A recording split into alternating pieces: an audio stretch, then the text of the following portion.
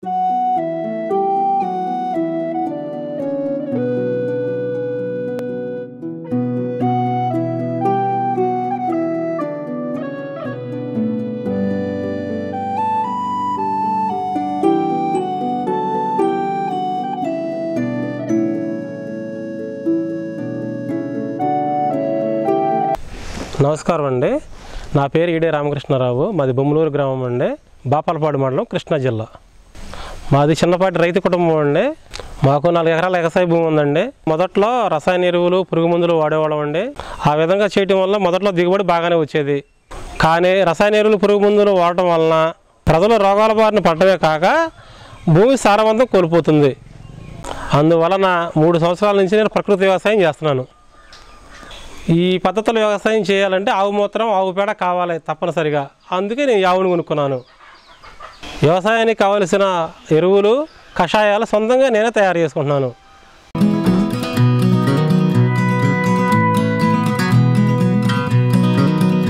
నా పొలానికి కావలసిన నాడిపు ఎరువుని సొంతంగా తయారు చేసుకుని నా పొలంలో వాడుకుంటున్నాను. నాకున్న నాలుగు ఎకరాల భూమిలో ప్రధాన పంటగా జామ వేసాను జామ మొక్కలు నాటేటప్పుడు బీజామృతంలో ముంచి మొక్క మొక్క నాలుగు గజాల దూరంలో నాటాను. ఎకరాకు నూ రెండు వందల పది మొక్కల చొప్పున నాలుగు ఎకరాలకి ఎనిమిది వందల నలభై మొక్కల చొప్పున నాటాను. జామ తోటలో ఆదాయం వచ్చేసరికి రెండు సంవత్సరాలు పడుతుంది కాబట్టి మొక్క నాటిన మొదటి సంవత్సరం అంతర పంటగా ఏరుశనగ వేసాను. వేరుశనగ పంట బాగా దిగుబడి వచ్చి మంచి ఆదాయం వచ్చింది.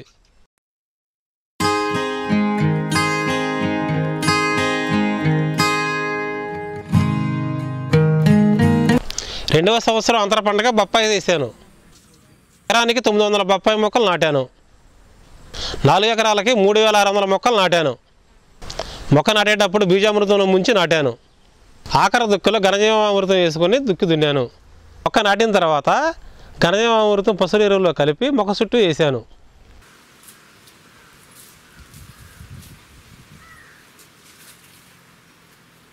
పంట మీద చెట్టు చుట్టూ మలిసిన చేయటం వలన భూమిలో తేమ శాతం ఎక్కువ రోజులు ఉంటుంది.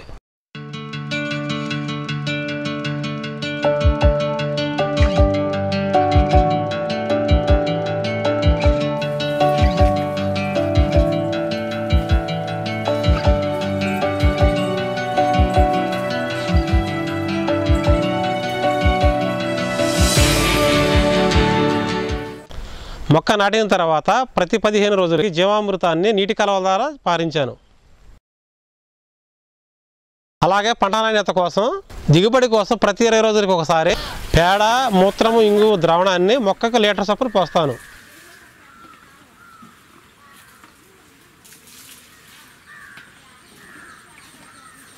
బొప్పాయిలో వాతావరణ పరిస్థితులను బట్టి చీడపీడలు ఆశిస్తాయి. ముఖ్యంగా వైరస్ తెగులు వస్తే పంట నష్టం తీవ్రంగా ఉంటుంది. ఈ వైరస్ తెగులకి ముందు లేదు కాబట్టి బొప్పాయిలో వైరస్ తెగులు ఆశించుకోకుండా బియ్యం కడిగిన నీళ్ళు పచ్చిపాల ద్రావణాన్ని ముందు జాగ్రత్త చర్యగా పిచ్చికరి చేసుకోవాలి. బొప్పాయిలో పినిదాలు ఎక్కువగా ఆశిస్తుంది కాబట్టి పిడిదాని నివారణ కోసము తుమ్మకాయ కషాయం పిచికారి చేశాను. దోమలకి పండు ఈగలకి నివారణకి ఈ దీపపేర్లను పెట్టుకున్నాను.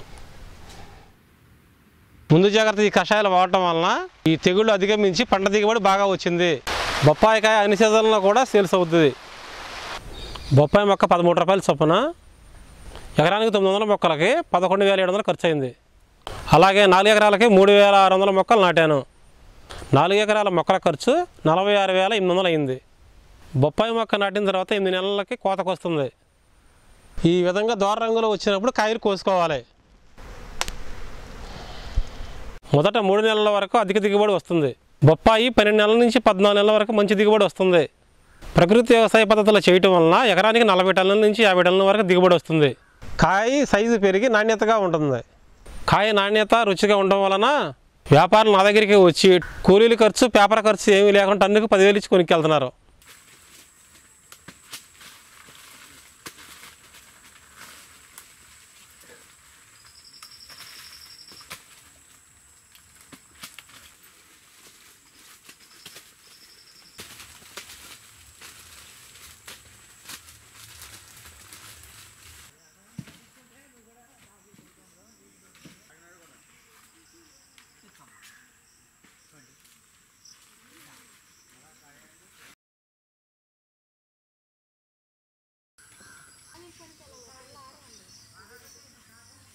కనీసం ఎకరానికి నలభై టన్నులైనా నాకు నాలుగు లక్షల ఆదాయం వస్తుంది.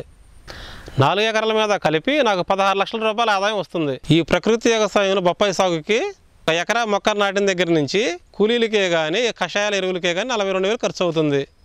ఈ విధంగా వ్యవసాయం చేయటం వలన నాకు నాలుగు ఎకరాలకే లక్ష డెబ్బై వేల వరకు ఖర్చు అవుతుంది. నాకు నాలుగు ఎకరాలకు ఖర్చులు బాను పద్నాలుగు లక్షల ఇరవై వేల రూపాయలు నికర ఆదాయం వస్తుంది.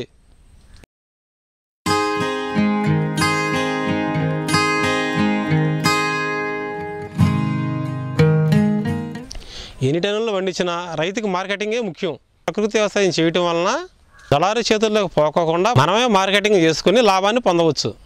ఈ విధంగా రైతు సోదరులందరూ ప్రకృతి వ్యవసాయం చేసి ప్రజల ఆరోగ్యాన్ని భూమి యొక్క సారవంతాన్ని విషపూరితం కాకుండా కాపాడదాం.